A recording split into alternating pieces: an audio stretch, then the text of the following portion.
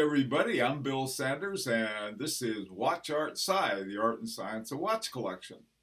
Uh, today, what we're going to do, we're going to talk about the watches that are way up there, and but people don't know them as well. And even though they're excellent watches, uh, both strong and high horology watches, and one is what is usually considered elite horology. Um, we're going to take a look at those and see how we can get some that are affordable. And uh, so we'll do that next. But first, we're going to take a look at Amintus Nitos, Patek Philippe annual calendar chronograph. this this watch is so beautiful and such an incredible watch. Uh, and what it does, this is this is a wonderful example of high horology uh, in its in its best form. And the uh, first of all, the design with the day of the week, the uh, the date, and then the month uh, at the top, in a little half circle at the top, and then the time around it, and then the subdial. It's it's just a beautifully designed watch, and then it has the um, uh, the buttons for uh, the chronograph. So this is uh, this is really uh, uh, a very cool watch, and especially with the chronograph in the middle, uh, like that. I mean, the dial for the chronograph, as opposed to usually they have them off to different sides and stuff. This this watch is just incredible. I don't want to embarrass anybody, but these are really expensive watches. I, this thing is, I whoa, even um, pre-owned. These things are very dear watches, and for a good reason. They're just they're just beautiful, and they they really are a, a feat of horological magic. Anyhow, uh, thank you so much, uh, for uh, letting us uh, show this watch. I am, I was very impressed by it, and I think that um, our subscribers will be too. Okay, let's get to work now on trying to find a very high horology watch for a reasonable amount. Okay, uh, what I'm going to start with is sort of a overview of the different kinds of tools that we have, if you want to call them that. Um, first of all, when when we're looking at a watch, we it's not a bad idea to know something about the group that it's in or whether it's independent. And uh, for example, one of the watches we're going to look at is uh, Louis Vuitton, and it's part of the Moet Hennessy Louis Vuitton group, which is called LVMH.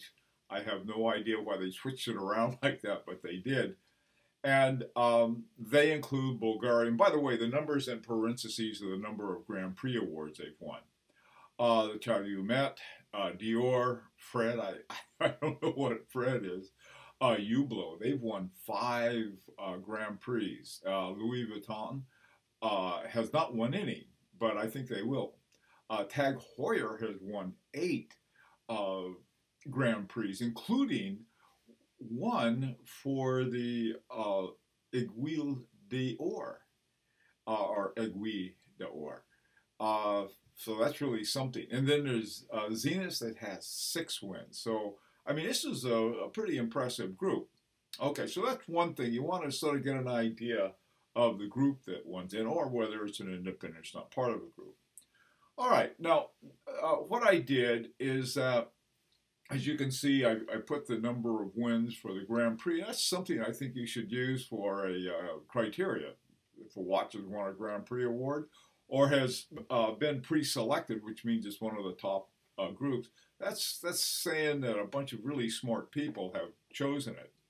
Now, there's a, a place uh, called uh, WatchRankings.com, uh, watch-rankings.com. They call themselves the definitive ranking.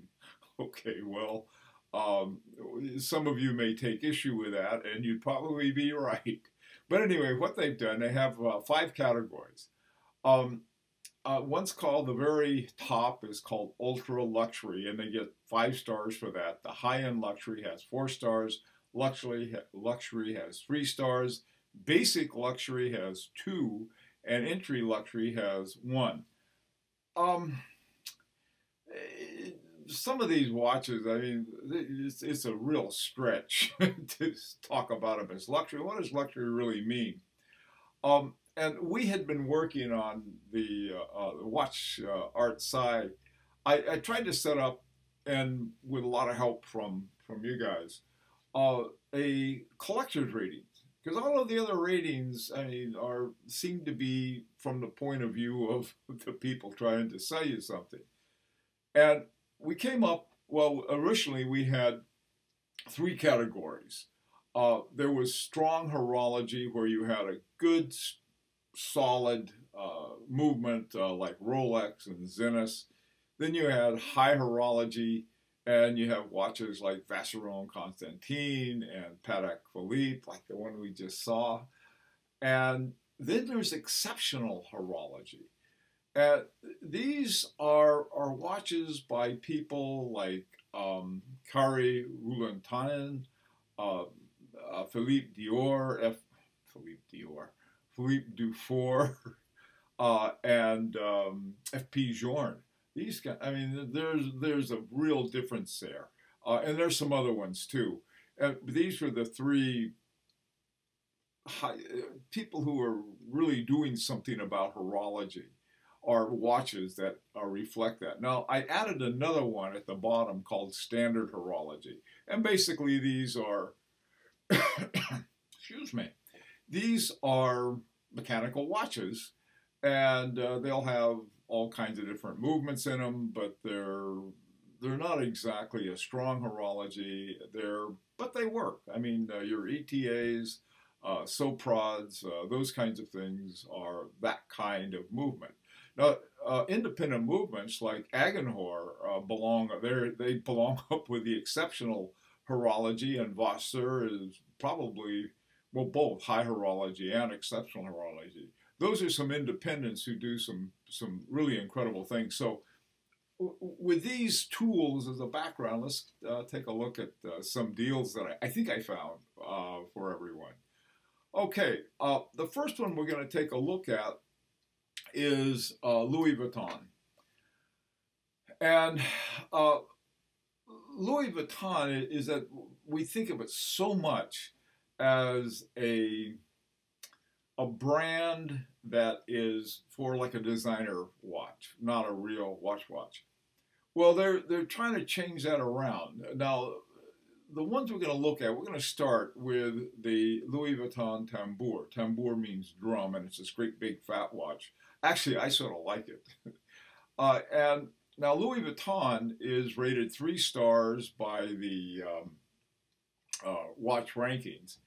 And the the other one, and now this came out in a white paper not long ago. Now the white paper's been around, and everybody sort of seems to know it, but I think the final one came around, and um, Louis Vuitton was in what they call the luxury category. Now, what what the luxury category of watches were were watches that had a, a broad spectrum of luxury things, not just watches, and, and that makes sense. But they also had to be what the foundation of high horology felt was fine watchmaking, and he did make the cut on that, and that's very important. And now, from our viewpoint, I mean, when I say our, mine, from the collector's viewpoint, um, the I, I, put it in the standard category, and the reason it's standard, it's it's uh, ticking on an uh, ETA uh, 2892-A2. Uh, it is Louis Vuitton. It's got a very nice dial and case to it, and you know the the uh, ETA 2892A2 is, is just a standard solid movement. Um, this one was pre-owned for uh, $2,000. So having something from that category, if that's important to you, you, you can find some, some pretty good deals. Now, the what they did next, um, they they've really really made some important moves, and this is important to understand. And the watch ranking uh, folks, I think, are a little behind the curve on this. they gave them three stars. But probably with watches like this, move up into something better. Uh, for from the collector's point of view, I think they belong in high horology. Um, now, this particular watch uh, was pre-selected in the uh, Grand Prix. What that means, everybody sends in their watches, and then they pre-select a few, and then one wins. Now, this one didn't win, uh, but it was it it wasn't because he didn't really do a lot for it. Now, the, dial on this watch was a, very controversial. I mean, and by, including people at Louis Vuitton says, "Oh my God, nobody can look at that." But and I felt the same way. I said, "Oh, gee, you know, what would you wear that with a clown outfit?" I, you know, it was not so. But it grew on me. The more I looked at that thing, I said, you know, this is really cool. You know, and know, if you go on vacation and you're traveling, like I like to go on cruises, and um, uh, last summer my wife and I went up to, to the Scandinavia and the Baltic states and Russia, and yeah, we went through several time zones. It's sort of cool to have something like that, and it's very interesting. The original ones were like hand painted and they cost seventy thousand dollars. So I think they thought, well, probably not the best idea. Now, here's the other thing about uh, Louis Vuitton that's extremely important. They bought this movement call, company uh, called La Fabrique du Temps. And the the important thing is it isn't just you know anybody can go out and buy a factory, I guess, a, a watch factory. But what they got with it that came with this deal were two really outstanding watchmakers. One was Michael Navas and the other was Enrico Barbasini. They developed the double spiral tourbillon for Laurent Ferrier. So they're going into a very interesting place. Now, a brand new watch at $7,700 that, like I said, I definitely to me, this has moved into high horology. Um, here's my hunch.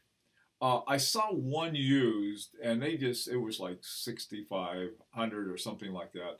I, I think they may have a hard time moving that it's going to be a while before people catch up or catch on to the value of these things. And I think what's going to happen, uh, and especially this particular model, is they're going to drop like a rock. Now, I may be wrong. I may be wrong, but they, they're, I, I suppose they're different philosophies. People worry a lot. Well, if I buy this, uh, what's the resale value? Well, in, in some watches, the resale value is not very good from new. So if you buy something new and maybe you get 50% of what you what you spent on it. Okay, you buy a $10,000 watch, you get $5,000 back. Um, the ones that keep their value more are Patek Philippe and um, Rolex.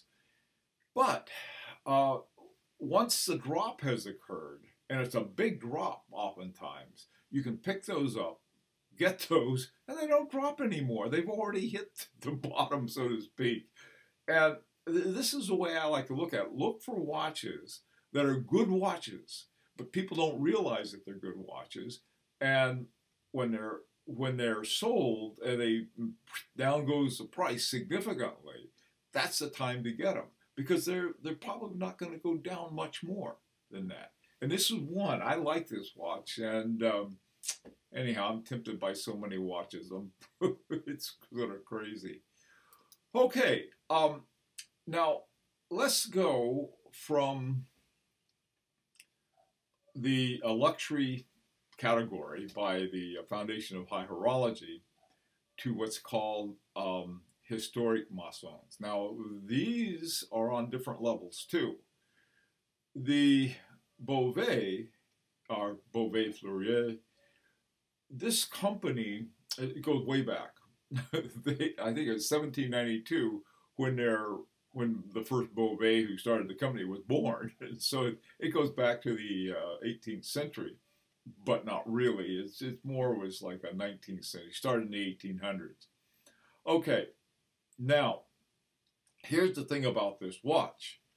Um, first of all, there was a guy named Pascal Raffi who became the owner and uh, sole shareholder. Okay, it used to, it's been owned by other people of Bovet Fleurier SA. This is back in 2001, so this is like 16 years ago. and he, he, he moved the operation uh, to the castle of Motiers and purchased a movement company called Dimier. Uh, it was it was called Dimier 1738, the manufacturer of high haute horlogerie, artisan lal, and Bovet 1822. This is back in uh, 2006, about 10 years ago, a little over 10 years ago. Okay, and um, so this is one of their watches. Now, they have the what I I suppose are entry level watches, really, for the kind of prices they have.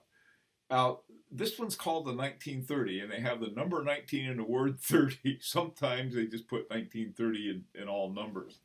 And this is called the uh, Bovet 1930 Dimier, $19,300, new, okay? Um, and it has an in-house caliber of 15B MO4, got, uh, runs at uh, 20, uh, 21,600 vibrations per hour. It's got a seven-day power reserve. And everything about this thing is magnificent. Okay, and an entry price, I know it sounds nuts, because most of their other watches are north of $50,000. But they have one that's called the Bovet 1930 Fleurier. And it, they're strange looking watches. Uh, I mean, everyone's heard of Bovet, but nobody knows anything about them. and one of the, they're small for one reason. Uh, the other reason is is that they make these unusual watches that probably don't have the biggest audience, and these are uh, these are watches, and you can see this in the uh, 1930 Fleurier uh, models. They're they look like uh, pocket watches that have been put on straps. Well, that's what they are, and the idea is is that well, if you don't want it on the strap and you want to wear it as a pocket watch, you can do it. Okay, that's all right, you know, but it it's doesn't exactly excite a lot of people, and this is one of the later ones. Now, the um, the uh, 1930 Fleurier starts off at eleven thousand dollars, and I know that's something. Oh, that's crazy price. I can afford that. Okay, but still, I mean, these are like tippity tippity top watches that are at the at the top of the uh, top of the deck. Um, okay, so uh, this one, I put it in high horology, not the exceptional horology, because it's quite meets the criteria for high horology, but not uh, not exceptional. Like if you put in a Remontoir uh, de Égalité in a watch, now that's exceptional because there aren't very many watches. Um, tourbillons, I don't know. There's so many of those. Okay, so let's go find one we can afford. All right. So I went looking and I found one. I found one on eBay for eight hundred dollars, a vintage one. But I, you know, this place both is so cool. Uh, they have a, a, place called Chateau de Motiers or the Motier Castle, and you can see the in the picture the guys over on the uh, right there. They're working away in, in, the, in this top of this gorgeous chateau. I mean, who's got, you know, most of those the places where people are making watches look, you know, fairly Bauhaus. Uh, this is anything but. And imagine making watches in this kind of environment. It just it just blows my mind. Okay, so I found one, a very interesting one. It's a vintage monopusher rattrapante chronograph. Now this is from the 1940s, and it was uh, for sale on on uh, Chrono 24 for 42.50. Okay. Here's the thing about this watch that's so cool. It's condition zero. Apparently, it had been laying in some corner somewhere and in a watch store or warehouse or somewhere. And um, this watch company in Boston found it.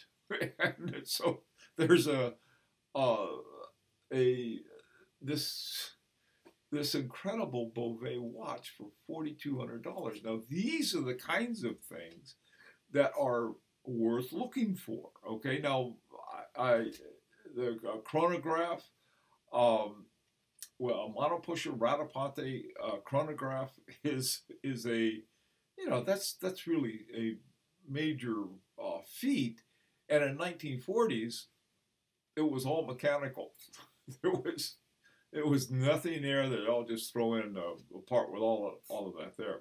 This is a cool watch, but this is the kind of thing that instead of you know getting something with an ETA in it, you can get something with a, a really interesting watch if you're going to pay that kind of money anyway. Okay, uh, let's go on. Uh, now this next one is uh, Chopard. Chopard is one that you got to be careful with, but there are some wonderful buys, and it's really a very well respected uh, company. Uh, the uh, foundation of Haute Horlogerie considered a historic maison, and uh, the Grand Prix, they've done a bang up job in the Grand Prix. I mean, the, the brand has Chopard. Now, this particular one has what you'll see is it'll it'll they usually say about Grandis A 07-161. It it is owned by ETA. Now there are a lot of different things that ETA owns, and um, uh, for example, uh, there's a long history of El Leroy and uh, Peseux. Okay, well, at some point, Peseux was bought by ETA, and so the uh, what was that? I think the Peseux called it the 7001, and ETA renamed it the uh, uh ETA 7001. It, it, it's still not quite the same as an in-house movement. Now, here's the good news, and and how to go looking for this uh, these things. Now, as it is right now, with an ETA in it, it's uh, by I, I think horological uh, uh, like belongs in the standard category. Uh, the um, watch ranking uh, people give Chopard uh, three stars. Now, three stars is not bad. Okay, it's with Rolex, Zenith, Omega, a lot of other uh, really fine watches. Something about Chopard though that I like, and I'm not sure what it is. Now, this particular one is uh, $1,180. Okay, for Chopard, it looks pretty decent. It's, it's part of a group called the Mille Miglia, the Thousand Miles, an Italian race. But at the bottom down there, I put a note, is that the current ones, they are now in-house Chopard movements called the 01.01-C. Okay, so Chopard has not been, you know, just sitting on its uh, laurels or reputation. Uh, they've been doing things, and I think this is why the um, foundation, the Orlo, the gave them the fine watchmaking seal of approval, okay, as a historic maison. So it's not that's not for nothing, okay. All right, so let's let's see what else they got. Uh, the next thing I went looking for in Show Chopard. By the way, too, that's they've won five Grand Prix, which is no small feat. Um, they they had this one, and, and I referred to it as the uh, Chopard Classic because they now have. I mean, the, the the new ones that are called Chopard Classic look the same. Uh, this is 18 karat white gold, and uh, it's uh, the for sale price is 19 17, 1,900, oh, about $2,000, which for a watch like this is pretty good. It's a manual wind, and instead of stainless steel, you get white gold. Beautiful dress watch. Um, if you look closely, you can see the band is mm, maybe a little chingered up and probably needs a new band. But uh, otherwise, uh, here you have something with it's part of the uh, historic maisons and it has a strong horology. So it's this is the uh, th those are, are are three brands that I that that I think are worth looking into. Uh, one thing you got to be careful about, and, and this is one example of that. Uh, this watch has is 32 and a half millimeters, okay, which is is relatively small by the more recent standard. But uh, my Patek Philippe, I think, is about the same, looks great. It's it's a dress watch with a dress watch. Um, the uh, my Leroy, I think it's I think it's 40 or 42 uh, millimeters. It's a pretty uh, pretty good size watch. Uh, and so you, you can work within that. Now, uh, depending on the size of the wrist, if you have a smaller wrist, then these are these are even better for you. But um, don't be too afraid of that uh, smaller size. The watches are coming down in sizes from everything I've seen. The but anyhow, uh, the point is this: is that you know you want to look for these things. These are there's sort of I'm going to go on a continuous series of looking for these for these gems that are affordable, that in really good horological watches. There's some there's some deals out there. Okay, well now uh, let me hear from you. I'd love to hear your feedback as always. What you think? Maybe you got some ideas. Uh, maybe your thoughts on Chopard or Bovet I don't know if anybody has any thoughts on Bovet. it's like nobody knows it. Everybody knows the name, but nobody knows much about it. It's really funny. Or uh, Louis Vuitton. Now, these are very different. Uh, when you hear Chopard, you think of watches. When you think of Louis Vuitton, uh, you think of leather goods or something like that with all those funny little marks on it. And uh, when you think of Bovet, you think of, oh, I heard of that. Let's hear what you have to say. Love to see your comments. And uh, this is an invitation to subscribe. Uh, you're more than welcome. We'd love to have you. Okay, uh, until Sunday when we have our next uh, collection review, Bill Sanders for Watch Art Sci, the Art and Science of Watch Collection.